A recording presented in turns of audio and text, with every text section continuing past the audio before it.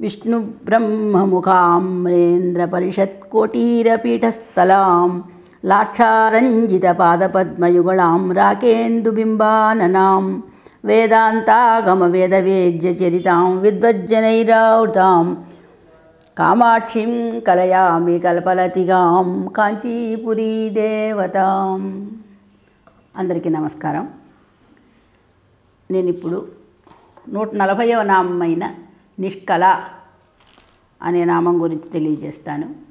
కళ అంటే అంశము భాగము అవయవము అనేటువంటి అర్థాలున్నాయి.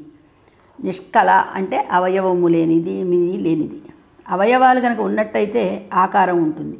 కానీ పరమేశ్వరి నిరాకారి. ఇక్కడ మనం గుర్తించాల్సిన విషయం ఏమిటంటే మొత్తం ఇదంతా కూడా పరమాత్మ యొక్క అంశమే. ఆ పరబ్రహ్మ నుంచి ఆవిర్భవించిన జీవులన్నిటికీ అవయవాలు ఉంటాయి కానీ పరమాత్మకు అవయవాలు లేవు.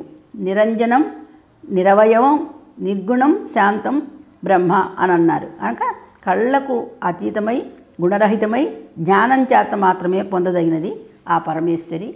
అటువంటి పరమేశ్వరిని ధ్యానం చేస్తూ పాటను పాడతారు. అది విని మీరందరూ సంతోషించి మీ అభిప్రాయాలు తెలియజేయాల్సిందిగా కోరుకుంటున్నాను. నమస్కారం. నిష్కలచిత్త निष्कल निराधार निराकार।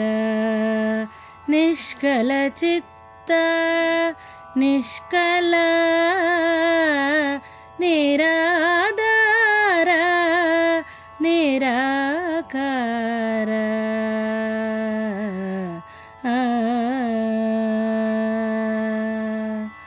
జీవకోటికి జీవము నీవే సకల వేదముల భావము నీవే. జీవకోటికి జీవము నీవే సకల వేదముల భావ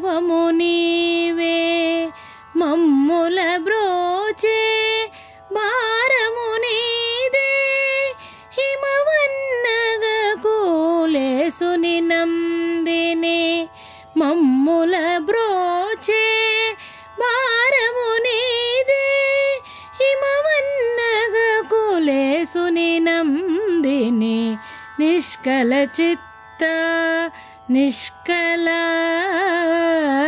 నిరాధార నిరాకార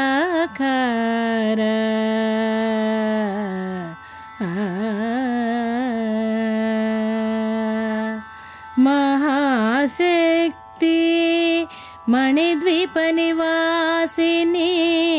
राजित राजितशालिनी महाशक्ति मणिद्विपनिवासिनी राजित शुभगुणशालिनी दक्षायणि रौद्र